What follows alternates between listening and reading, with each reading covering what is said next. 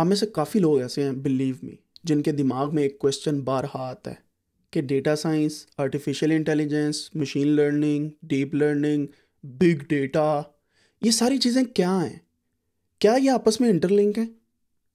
या ये सेपरेटली काम कर रही हैं? या इनमें कुछ रिश्तेदारियाँ या मुवाफ़त है? या इनको सेपरेटली सीखा जा सकता है? देर आर मैनी क्वेश्चन जो लोगों के दिमाग में बारहा आते हैं। और बिलीव मी ये क्वेश्चंस के आंसर देने के लिए इस लेक्चर के अंदर प्रॉपरली हम देखेंगे कि ये सब क्या है। लेट्स बिगिन अब यहाँ पे देखें कि सबसे पहले अगर आप गौर करें तो आर्टिफिशियल इंटेलिजेंस एक ब्रॉडर टर्म गिनी जाती है।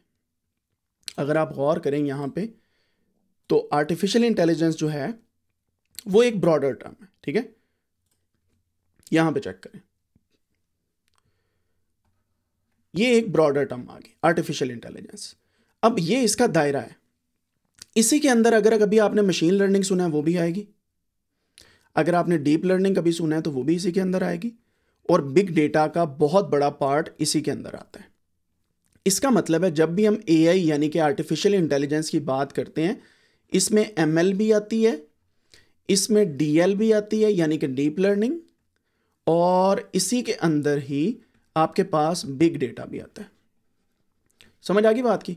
तो ये एक बड़ी टर्म है, उसके अंदर डिफरेंट किस्म के छोटे छोटे जो पार्ट्स हैं, उनको हम देखते हैं। फिर आता है डेटा साइंस डेटा साइंस और आर्टिफिशियल इंटेलिजेंस ये तकरीबन 50 टू 70 परसेंट ओवरलैप करती हैं। आप इसको कह सकते हैं कि आधे या आधे से ज़्यादा ये आपस में ओवरलैप करता है इनका एल्गोरिथम क्योंकि मशीन लर्निंग डेटा साइंस में भी आती है एआई में भी आती है।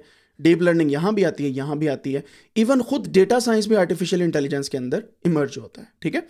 अब अगर हम इसको थोड़ा सा और डिटेल में देखें तो यहाँ पे आप गौर अगर करें डेटा साइंस के अंदर एक और चीज़ है छोटे लेवल पे जिसको हम बोलते हैं डेटा एनालिटिक्स तो ये पार्ट ऑफ़ डेटा साइंस है। जब आप बड़े डेटा को एनालाइज करके डेटा ड्रिवन डिसीज़न मेकिंग कर रहे हैं that is called data analytics data driven decision making वो नान टिकी वाली एग्ज़ाम्पल याद रखें।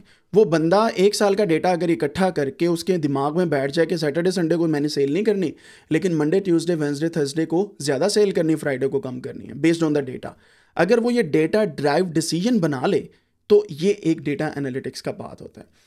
अब अगर आप मशीन लर्निंग भी कर रहे हैं डीप लर्निंग भी कर रहे हैं बिग डेटा को एनालाइज भी कर रहे हैं बिग डेटा को क्लीन भी कर रहे हैं प्री प्रोसेस भी कर रहे हैं there are many other things which are involve तो आप डेटा साइंस भी कर रहे हैं। So data science includes data analytics big data deep learning machine learning and artificial intelligence but other than data science there are many other things which are solely present in artificial intelligence जिसमें app development आ जाती है, आपका software development भी आ जाती है and there are many other things जो इनशाला हम इन इन चीज़ों के अंदर देखने वाले हैं। यहाँ तक आपको समझ आ गई होगी होपफुली और अगर आ गई है दैट्स ग्रेट अब थोड़ा आगे मूव करते हैं।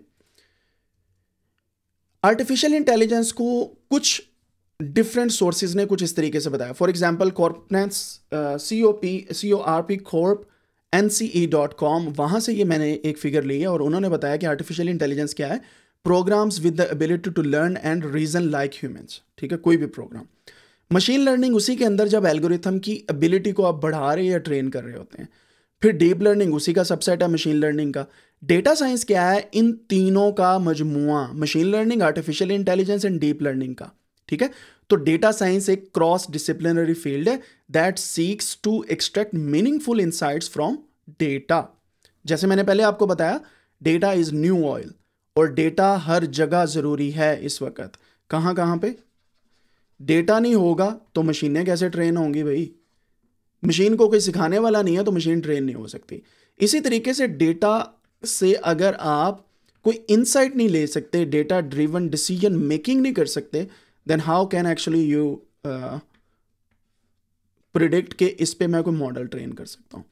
सो बेसिकली होता है क्या अगर आपके पास डेटा है ना, सबसे पहले उस पर डेटा एनालिसिस करें डेटा की बेसिक एनालिसिस करने के बाद फिर आप करेंगे machine learning and deep learning then उसके बाद आप एआई की तरफ़ मूव करेंगे।